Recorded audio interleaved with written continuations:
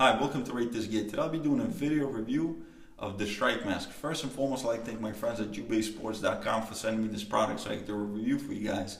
Uh, and I'll leave a link in the description box to let you know where you can get it or get more information about this product. So with that said, uh, I thought this product was a very, very cool idea. And what this essentially is, it's, a, it's like a face type of a um, piece of equipment uh, it's very well padded. The construction of it is uh, it's not a leather construction, but I think uh, you know it, it'll it'll be fine. It'll last a while without a problem.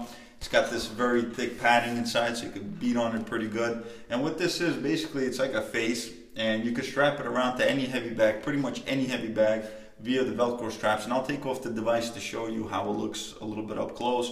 Uh, I did try to set it up on a heavier heavy bag, which is a 300 uh, pound heavy bag uh, and the Velcro straps did not reach around, but it should fit a variety of different heavy bags.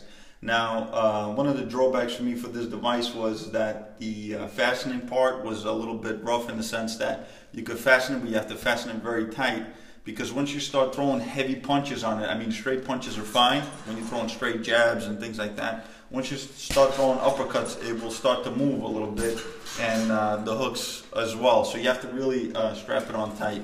Now I think it might have to do with uh, the type of heavy bags you're using it on. I noticed that like um, a canvas heavy bag is a little bit different as far as the way it holds versus a leather heavy bag and um, so it all depends on what type of a heavy bag you use it on. But on this one it sits pretty tight.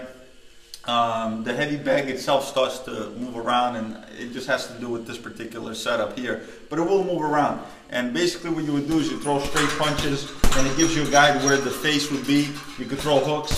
Um, obviously this heavy bag moves a little bit. So whenever you throw straight shots and uppercuts, body shots, you know, face shots, I mean, it stays on pretty well. Once you start really hitting it hard with hooks and stuff, it starts to, you know, move around a little bit. So I think uh, the design um, is cool. I mean, I don't see any other way you could probably strap this onto a heavy bag without it really moving. But if these guys come up with a way to really uh, wait for it to really sit really tight, I think could be a, a lot more, uh, a lot better uh, to use. Uh, so this has been a, a, very cool, interesting piece of equipment to review, to use in the gym. It does give you a cool guide to where the face is and it will add an extra dimension to your training. Uh, so with that said, I hope you've enjoyed this review. I'm going to take this device off and show you a little bit of a close-up of how it is, uh, a little bit, you know, when I take off the, uh, the Velcro straps. So this is the device. It's got little cutouts for the eyes. On the back, you have uh, the Velcro strap.